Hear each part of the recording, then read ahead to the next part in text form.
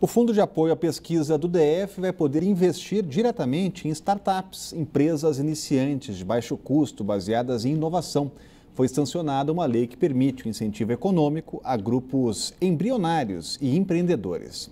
O Rafael é mais um empreendedor do DF. O jovem é o dono de uma startup que está chegando agora no mercado. A empresa dele criou esse aplicativo, que está em fase de testes e permite doações gratuitas pelo celular a ONGs sociais tem que ver esse produto é realmente isso se soluciona realmente um problema das pessoas, um desejo que elas têm, é, se realmente o produto é interessante e depois continua tocando. A gente está exatamente nessa etapa, início. A startup do Rafael, a partir de agora, vai ganhar um gás ainda maior para crescer. A empresa será beneficiada com incentivos por meio da Lei de Inovação de Subvenção Econômica para Startups, sancionada pelo governador do DF. É um recurso que vem é, bem pautado, tem que ser feito um planejamento bem extenso antes de você, antes de você ser aprovado, tem que ser seguido à risca. Então, acaba que alavanca muito, muitos projetos, dá para tirar do papel muita coisa. Podem ser consideradas startups aquelas empresas com custo de manutenção baixo, mas que conseguem crescer rapidamente, gerando cada vez mais lucro. De acordo com o site Brasília Startup, o Distrito Federal tem 35 empresas do ramo instaladas aqui. Existem diversas formas para que esse tipo de empreendedor se prepare para entrar nesse setor tão concorrido. Percebendo a oportunidade, Samuel criou uma empresa para prestar essa consultoria e até virar sócio dos projetos. O Rafael é um dos clientes dele e recebeu dicas de como usar o investimento disponibilizado pelo governo. Esse incentivo pode transformar o cenário tecnológico do DF. Brasília está vindo com um parque tecnológico que está em, em vias de sair e Brasília tem toda uma uma situação de ser uma cidade para o empreendedorismo e inovação.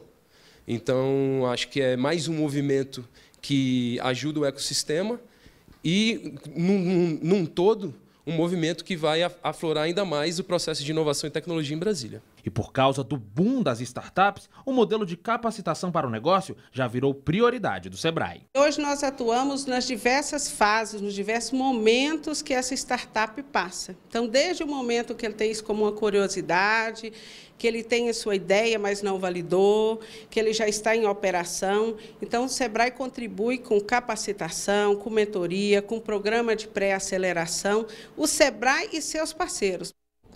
E vamos para o Minha Brasília, em clima musical. O vocalista da banda Biquíni Cavadão pegou carona com o Daniel Zucco e o Bruno Gouveia conta que conheceu Brasília ainda na infância.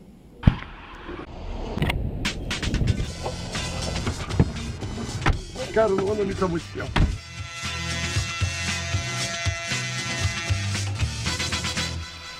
Há quanto tempo você não anda na Brasília?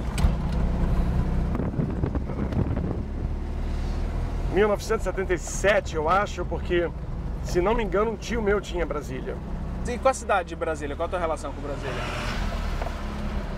Eu tenho uma relação ótima, mas começou com uma história horrorosa.